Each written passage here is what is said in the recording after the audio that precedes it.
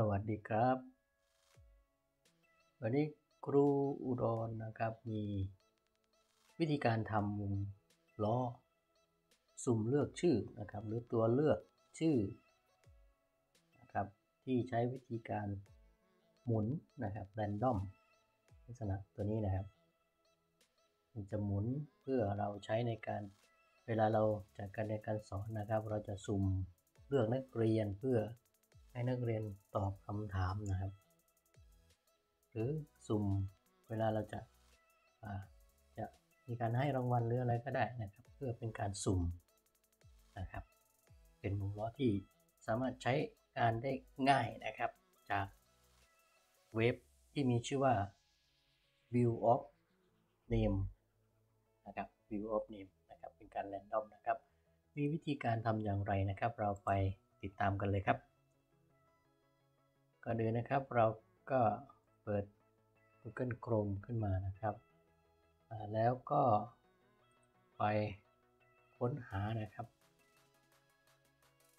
ที่โดยพิมพ์คำว่า view of name นะครับ view w h e o f n a m e นะครับ นี่นะครับ view of name เป็นเสร็จแล้วก็ enter เข้าไปเลยครับ ก็จะมาที่เว็บนะครับเว็บไซต์นะครับ view of name com จะชื่อว่าตัวเลือกชื่อแบบสุ่ม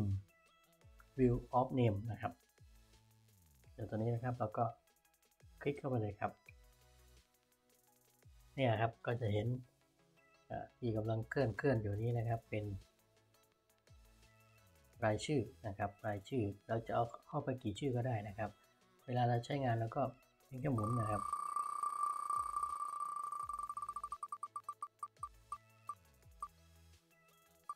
อ่าเนี่ยนะครับ ก็จะมาลงชื่อ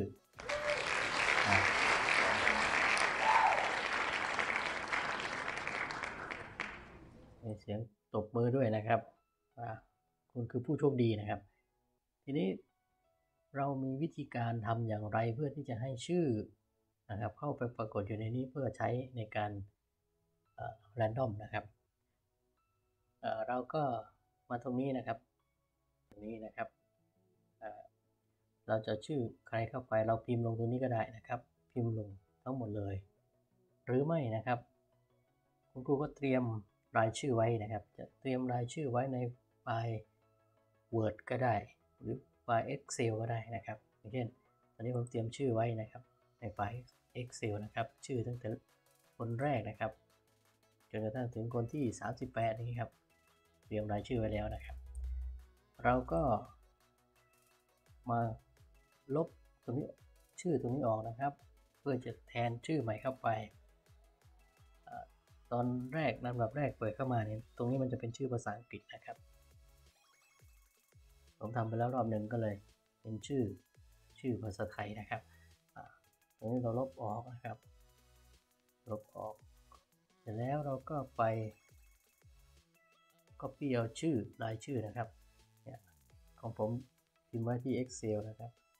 เราก็ copy นะครับ Ctrl C แล้วกลับมาคลิกฝาวาง รายชื่อก็จะเข้ามานะครับ ทั้ง 38 คนเมื่อสักครู่นะครับ รายชื่อมาแล้วก็จะมาอยู่ในนี้ทั้งหมดนะครับอยู่ในนี้ทั้งหมดแล้วเราก็ใช้เลยนะครับ สมมติว่าจะใช้ว่าต่อไปครูจะสมเรียกชื่อ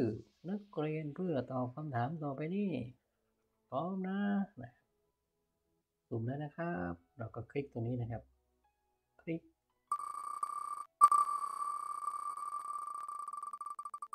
ผู้โชคดีได้แก่นางสาวทิพย์อักษรทิพย์อักษรอันนี้นะครับ ก็จะใช้ในการนางสาวทิพย์อักษรก็จะรอตอบคำถามนะครับ แล้วก็มีรางวัลอะไรให้ก็จัดให้ไปนะครับนั่นคือเอา เว็บไซต์นี้นะครับ viewofname com นะครับ มาช่วยในการสุ่มนะครับ จัดทำเป็นวงล้อสุ่มเลือกนะครับ ให้นักเรียน